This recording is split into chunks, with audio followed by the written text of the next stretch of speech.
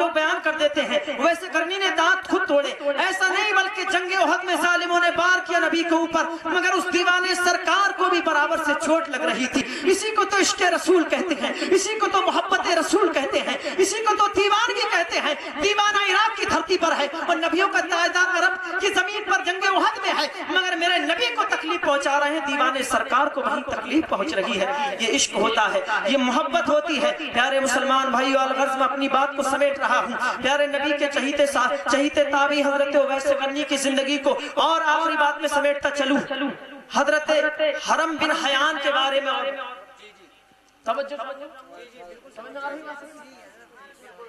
حضرت حرم بن حیان جو مدینے کے تھے اور تابعی تھے۔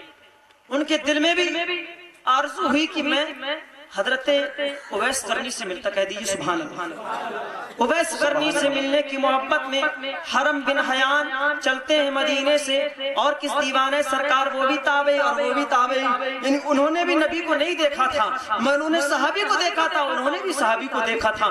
دونوں کا مرتبہ ایک ہے، مگر اویس کرنی سے ملنے کی جستجو میں، محبت میں مدینے سے سفر کرتے ہیں یعنی ملک یمن پہنچتے ہیں کرن پہنچتے، لوگوں سے پوچھتے ہیں، کیا تم نے حضرت اویس کرنی کو دیکھا؟ ہے، لوگ کہتے ہیں، اس پاگل مجنو کی بات کرتے ہو، اس دیوانے کی بات کرتے ہو، اس کو تو وہ تو گلیوں سے اٹھا کر کے چھلکے کھاتا ہے، روٹی کے ٹکڑے کھاتا ہے، لوگ اس طرح کی باتیں کر رہے تھے، مگر قربان جاؤ مسلمانوں، اس کی بھی دیوانگی سچی تھی، حضرت حرم بن حیان چل دیتے ہیں ملک کرن یعنی ملک یمن سے چل دیتے ہیں کرن کی طرف کرن والوں سے پوچھتے ہیں کہ حضرت اویس کرنی کو دیکھا ہے، کہا، وہ پاگل مجنو دیوانے کی بات کرتے ہو، ہم نے نہیں دیکھا ہے، کسی نے کہا، کسی ملنے والے نے کہا ہاں ہاں میں نے سنا ہے کہ وہ کوفہ کی طرف سفر کر کے گئے ہیں۔ حضرت حرم بن حیان کوفہ کی طرف چلے جاتے ہیں۔ حضرت ویسے کرنی کی تلاش میں دیوانے سرکار جب کوفہ پہنچتے ہیں، کس جگہ؟ جس جگہ حضرت امام حسین کی شہادت ہوئی تھی۔ نہر فرات کے قریب دیکھا، وہ عاشق رسول پراگندہ لباس ہے۔ لباس پھٹا ہوا ہے یعنی پراگندہ داڑھی ہے۔ اور پورا بدن جو ہے، کمزور ہے۔ نہیں، وہ ناتوا ہے۔ حضرت حرم بن حیان پہنچتے ہیں۔ آپ کا چہرہ دوسری جانب تھا۔ آپ سلام کرتے ہیں۔ السلام علیکم ورحمت اللہ وبرکاتہ۔ وبرکاتہ۔ حضرت ویسے کرنی کو ویسے حضرت حرم بن عیان نے سلام کیا۔ حضرت ویسے کرنی نے جواب دیا، وعلیکم السلام ورحمت اللہ وبرکاتہ۔ یا حرم بن حیان سبحان اللہ کہہ دیجیے۔ کبھی دیکھا نہیں تھا۔ کبھی دیکھا نہیں تھا۔ اور نہ انہوں نے کبھی دیکھا تھا۔ حضرت ویسے کرنی سے وہ حیرت کرتے ہیں۔ اے حضرت ویسے کرنی آپ یہ بتائیے نہ مجھے آپ نے دیکھا نہ میں نے آپ کو دیکھا، مگر میں کو آپ ویسے کرنی ہے کام ہے، ویسے کرنی اور تم حرم میں نحیان ہو تمہیں کیسے معلوم کہا اس لیے کہ اللہ تعالیٰ نے اپنے فضل و کرم سے مجھ کو سب کچھ سکھا دیا ہے سب کچھ بتا دیا ہے۔ مجھے معلوم ہے کہ مدینے سے ایک نبی کا عاشق ایک ایک نبی کا عاشق ویس کرنی سے ملنے کے لیے چل دیا ہے سبحان اللہ۔ حضرت حرم بن حیان نے دیکھا اور کہا کہ میں ایک رات آپ کے پاس رہنا چاہتا ہوں۔ میں ہی ٹھہرنا چاہتا ہوں۔ حضرت اویس کرنی نے کہا نہیں منزل بہت دور ہے سفر طے کرنا ہے۔ بہت دور منزل ہے سفر طے کرنا ہے حضرت کیونکہ سب سے بچنا چاہتے تھے۔ لوگوں کے درمیان زیادہ آنا نہیں چاہتے تھے۔ کہا، میرے لیے دعا فرما دیجیے۔ اے حرم فرا ویسے کرنی میرے لیے دعا کر دیجیے۔ حضرت ویسے کرنی نے کہا، اے حرم بن حیان، دعا کرنے کے لیے جب ہاتھ اٹھاتے ہیں ویسے کرنی حضرت ویسے کرنی نے دعا کی تو اس شان سے کی کہ اے اللہ پاک پروردگار عالم، حرم بن حیان کی میری جنت میں ملاقات کرا دینا۔ سبحان اللہ سبحان اللہ۔ حرم بن حیان سے میری جنت میں ملاقات کرا دینا۔ اتنا کہنا تھا حضرت حرم بن حیان کہتے ہیں، حضرت دوبارہ ملاقات کیوں نہیں؟ حضرت ویس کرنی کہتے ہیں، ارے اس سے اچھی کیا ملاقات ہوگی؟ دوبارہ نہیں ملیں گے، انشاءاللہ جنت میں ملیں گے، سبحان اللہ۔ یہ شان ہے۔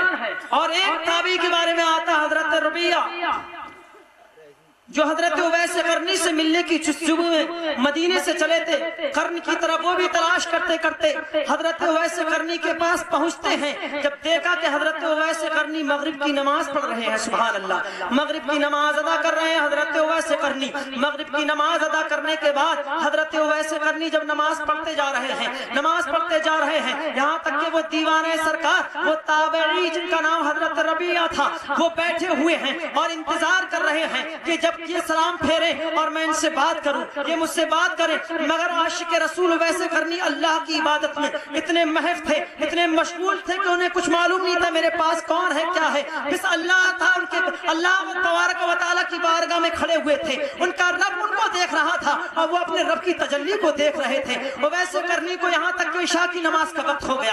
عشاء کی نماز پڑھنا شروع کر دیتے ہیں اور وہ بھی تابعی بیٹھے رہتے ہیں کہ میں اس دیوان سرکار سے مل کے جاؤں گا۔ یہاں تک کہ عشاء کی نماز سے فارغ ہوتے ہیں۔ حضرت ویسے کرنی ایسا لمبا قیام کرتے ہیں کہ پوری رات ختم ہو جاتی ہے۔ اتنا کمزور بدن تھا اتنا لمبا قیام کرتے ہیں کہ فجر کی نماز کا وقت ہو جاتا ہے۔ فجر کی نماز پڑھتے ہیں فجر کی نماز کے بعد قرآن پڑھنا شروع کرتے ہیں۔ پورے دن تلاوت کرتے ہیں۔ رات شروع ہو جاتی ہے مغرب کی نماز پڑھتے ہیں پھر دوسرا دن جب آتا ہے پیارے نبی کے پیارے چہیتے، حضرت ویسے کرنی کی شان دیکھو۔ آج ہم عبادت کرتے ہیں۔ پانچ وقت کی نماز تو نہیں پڑھتے۔ آٹھویں دن جاتے، سوچتے آٹھ منٹ میں پڑھ کے باہر نکل کے آ جائیں۔ بس نہیں چلتا، لوگوں کو چپلے ہاتھ میں رکھ کے جائیں اور سوچے کہ سلام پھیرتے بھاگ لگا دے گھر کی طرف۔ مگر غور مان جاؤ مسلمانوں، وہ عاشق رسول کی شان دیکھو۔ ایک پوری رات قیام میں گزارتی، جب دوسری رات آتی، وہ بھی دیوان سرکار تھا۔ پوری رات کو انتظار کرتے رہے، پورے دن انتظار کرتے رہے۔ دوسرے دن کی عظمت دیکھو۔ دوسرے دن جب وہ اپنے عاشق رسول نے دیکھا کہ آپ رکوع میں ہیں اور رکوع کی حالت میں حضرت ویسے کرنی نے پوری رات تمام کر دی، سبحان اللہ۔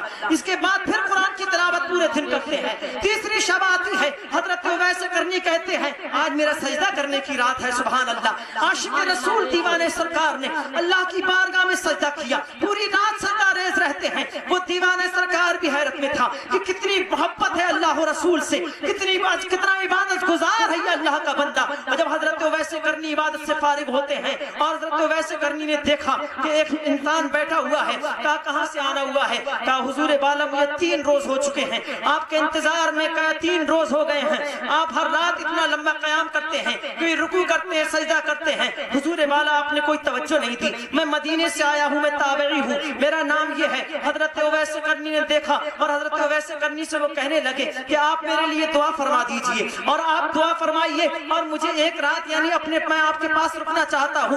حضرت ویسے کرنی فرماتے ہیں، اے تابعی، اے جانسار اے عاشق رسول، تو میرے پاس نہ ٹھہر۔ میرے پاس نہ رک بہت لمبا سفر ہے، بہت لمبا سفر ہے۔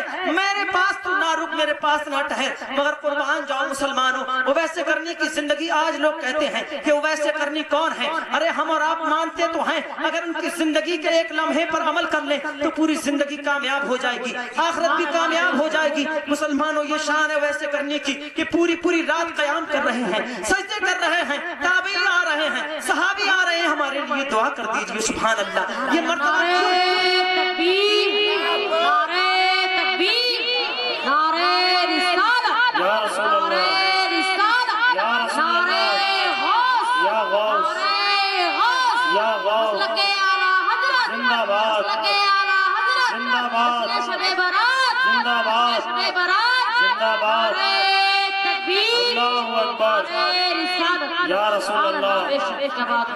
آخری بات کہہ کے انشاءاللہ اپنی تقریر ختم کر رہا ہوں. حضرت اویس کرنی کی شان دیکھو مسلمانوں. حضرت اویس کرنی کے بارے میں آیا کہ عاشق رسول حضرت اویس کرنی رضی اللہ تعالیٰ عنہ کی شان و عظمت یہ ہے کہ جو نبی پاک صلی اللہ علیہ وسلم کی بارگاہ کے لیے دل مچل رہا تھا، ایک مرتبہ اپنی امی جان سے عرض کیا، اے میری پیاری ماں، مجھے اذن دے دیا جائے کہ میں نبی پاک کی بارگاہ میں جاؤں، میں اپنے آقا سے ملاقات کروں۔ آپ کی امی جان بیمار تھی، جو فالج کا لقوے کا اثر تھا، آپ اٹھ نہیں سکتی تھی کہا بیٹا نبی کی بارگاہ میں جا تو رہے ہو، اگر نبی نہ ملے تو ان کو تلاش نہ کرنا، نبی نہ ملے تو ان کو نہ تلاش کرنا۔ میرے نبی کے چہیتے یعنی عاشق رسول حضرت اویس کرنی مدینہ کی طرف چلتے ہیں۔ مدینے کے سب طرف اتنا دشواری کے ساتھ سفر طے کر کے پہنچتے ہیں۔ جب مدینے کی گلیوں میں پہنچتے ہیں، مدینے کی گلیوں کو دیکھ کر ویسے کرنی کا دل تڑپ رہا ہے۔ عاشق رسول کا دل مچل رہا ہے۔ یہ وہی گلیاں ہیں جس میں میرے آقا گزرتے ہیں۔ یہ وہی گلیاں ہیں جس میں میرے محبوب کے قدم پڑتے ہیں۔ یہ وہی گلیاں ہیں جس میں میرے پیارا حبیب گزرتا ہے۔ یہ وہی گلیاں ہیں جس میں اللہ کا پیارا حبیب ٹہلتا ہے۔ وہ وہی گلیاں ہیں جس میں آمنہ کا لال گزرتا ہے۔ حضرت ویسے کرنی کا دل مچل رہا ہے۔ جب حضرت رسول پاک کے مکان کے قریب پہنچتے ہیں۔ در- دروازے پر دستک دیتے ہیں۔ آواز آتی امی عائشہ اندر مکان سے آواز دیتی کون؟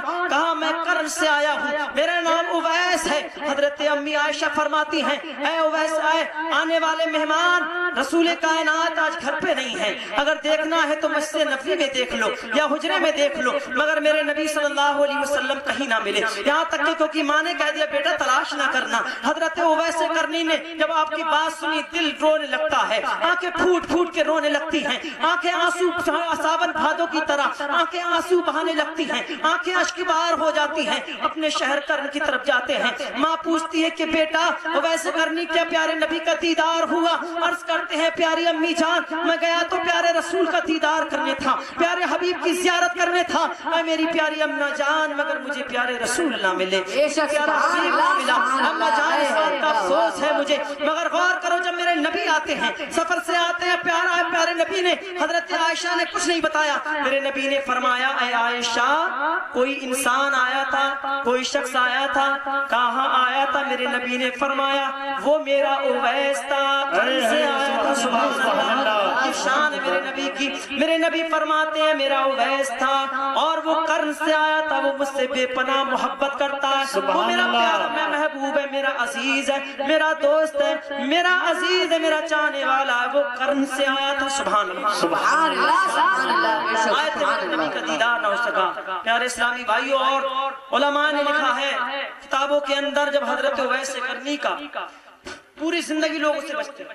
تاکہ لوگ یہ نہ کہو ویسے کرنی بہت پرہیزگار ہے بہت دیکھو عاشق ہے۔ آخر میں بات سنیے، حضرت ویسے کرنی جب بیابان جنگلوں میں چلتے رہے اور ایک کپڑے کی پٹلیا ساتھ میں تھی حضرت ویسے کرنی کے بدن سے جب روح نکلتی ہے، حضرت ویسے کرنی کے بدن سے روح پرواز کرتی ہے۔ چند لوگ آتے ہیں، دیکھتے ہیں، حضرت ویسے کرنی کے لاشے کو دیکھتے ہیں۔ حضرت ویسے کرنی کے لاشے قریب پر کپڑوں کی پٹلیا رکھی ہوئی تھی ایک گٹھری کپڑوں کی رکھی ہوئی تھی، جب دیکھتے ہیں تو اس میں کفن بھی ساتھ میں تھا۔ اور کرنا پیارے مسلمانوں، جب اس کفن کو لوگوں نے دیکھا تھا تو کوئی دنیاوی کفن نہیں تھا۔ وہ دیکھنے میں لوگ کہتے ہیں کہ ہمیں ایسا لگتا تھا وہ جنت سے اللہ پاک نے عاشق رسول کو بھیجا ہے وہ جنتی کفن بھیجا ہے۔ تمام لوگوں نے کہا کہ ہم نے حضرت ویسے کرنی کو جو لوگ وہاں موجود تھے کفن آیا اس کے بعد ایک پتھر بہت بڑا نظر آیا۔ اس پتھر کو جب ہم نے ہٹایا تو دیکھتے کیا ہے وہ ویسے کرنی کی قبر کھودنے کی ضرورت نہیں تھی بلکہ عاشق رسول دیوان سرکار کی قبر پہلے سے کھودی جب اس دیوان سرکار کو وہ لوگ کہتے ہیں جب اس دیوان سرکار کو قبر میں اتار تھا اس کے بعد کچھ ہی لمحات ہم آگے چلے تھے، کچھ ہی لمحات آگے گزرے تھے، اس کے بعد گزرنے کے بعد دل میں خیال آیا، یہاں پر کوئی پہچان بنانی چاہیے کہ کبھی اگر ہمارا گزر ہو تو ویس کرنی کی قبر پہ فاتحہ پڑھ دیں ویس کرنی کے مزار پہ دعا کرنے آئے حضرت ویس کرنی کے مزار پر دعا کریں، فاتحہ کریں، جب وہ لوگ واپس لوٹتے ہیں، دیکھا کہ جس جگہ قبر تھی جس جگہ پر ہم نے دفنایا تھا نہ اس عاشق رسول کی قبر ہے نہ اس قبر کا نشان ہے دیوانے سرکار کا نہ اس کی قبر کا نشان ہے نہ اس پتہ ہے کہاں گم ہو گیا سبحان اللہ سبحان پیارے مسلمانوں یہ عاشقوں کی شان ہے۔ تقریر کا موضوع تو بہت لمبا آیا تھا ابھی کروں تو بہت لمبی ہو جائے گی مگر بہت وقت ہو گیا۔ انشاءاللہ تعالی تو یہ نبی کے چاہنے والوں کی عاشقوں کی شان ہے۔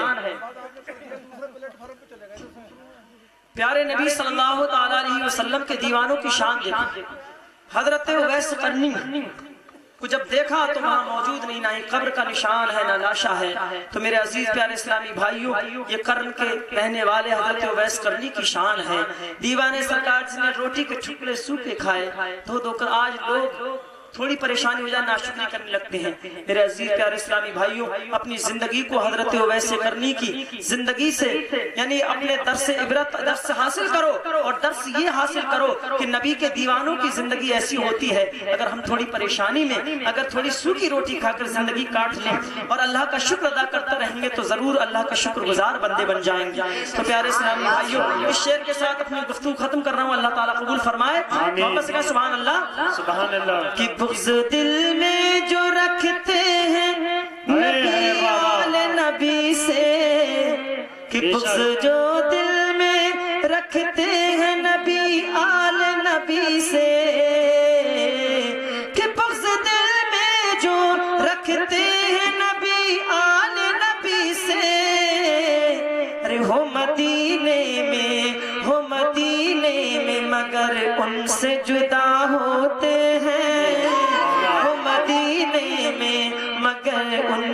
جدا ہوتے ہیں۔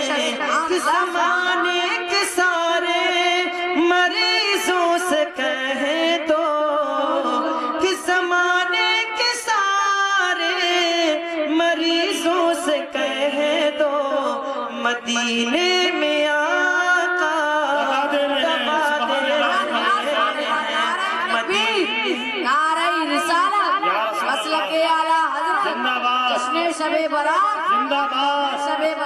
زندہ باد۔ تکبیر۔ اللہ اکبر۔